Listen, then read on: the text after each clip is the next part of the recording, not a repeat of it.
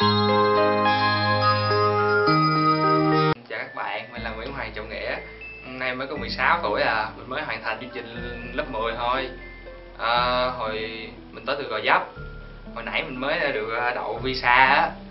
Uhm, Thì cảm giác mình trước khi xin visa thì rất là hồi hộp. Tại vì mình tới hồi lúc ờ, đã hẹn 1 giờ 20 Mà mình tới lúc đó là 12 giờ 10 Vô hỏi người ta thử coi người ta kêu một giờ em quay lại nha em.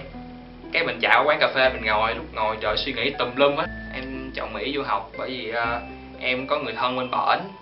Uhm, lại em muốn qua bển để uh, học tập um, rèn luyện tiếng anh của mình. Ở bên mỹ thì mình sẽ học trường memorial home school. Trường em thì uh, chương trình tiếng anh nó rất là rất là tốt thu hút nhiều học sinh lắm. Nó sinh tới từ ba chục nước lận. À, trường thì uh, cũng gần nhà học phí cũng không có mắc lắm. Ừ. thì ba nhỏ cháu của mình hiện giờ đang học ở trường đó. Và trước đây cũng làm hồ sơ ở Tân Đại Dương nên bây giờ mình cũng làm hồ sơ ở Tân Đại Dương luôn. Quá trình làm hồ sơ thì được chị Thúy hướng dẫn rồi nên cũng rất là dễ làm.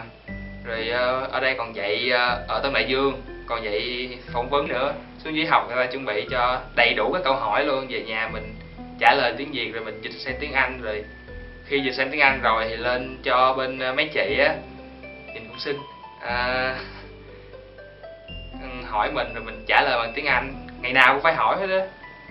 Nên ờ, mình rất là tự tin khi đi xin visa. Học với anh Khôi thì ờ, anh Khôi cung cấp anh Khôi cung cấp đầy đủ câu hỏi rồi giúp mình trả lời rất là đầy đủ các câu hỏi đó.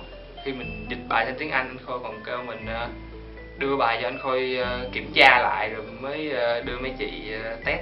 Khi mà em khi mà mình học với anh Bảo Anh á thì anh Bảo Anh nói về cái các cái quá trình làm visa rồi nói về cái tâm lý của mình lúc mà mình đang làm visa rồi giải tỏa đi cái tâm lý đó để mình bớt căng thẳng đi.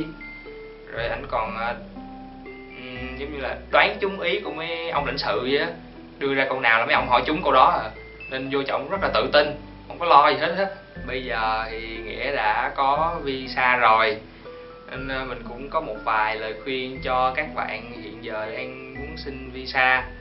Thì hồ sơ các bạn thì các bạn nên làm ở Tân Đại Dương sẽ rất là đầy đủ. Còn khi đi vô trong đó thì nó có hình như là ba bước là bạn đưa hồ sơ vô, người ta kiểm vân tay của mình, rồi người ta kẹp số cho mình đi qua bên kia mình hỏi. Cho nó phỏng vấn mình. Thì vợ chồng mình cứ bình tĩnh tự tin thôi. Cứ nghe câu hỏi của ông nghe cho thật kỹ tại vì uh, cái bạn mà đi trước mình á bởi vì uh, lãnh ông lãnh sự ông hỏi cái gì bạn cũng ú ớ ú ớ đó nên uh, chấm bạn rớt nên uh, điều quan trọng nhất mà mình khuyên các bạn là nên nghe rõ câu hỏi. Mặc dù uh, nói tiếng Anh không được chuẩn nhưng mà mấy ông cũng hiểu mà. Chúc các bạn thành công.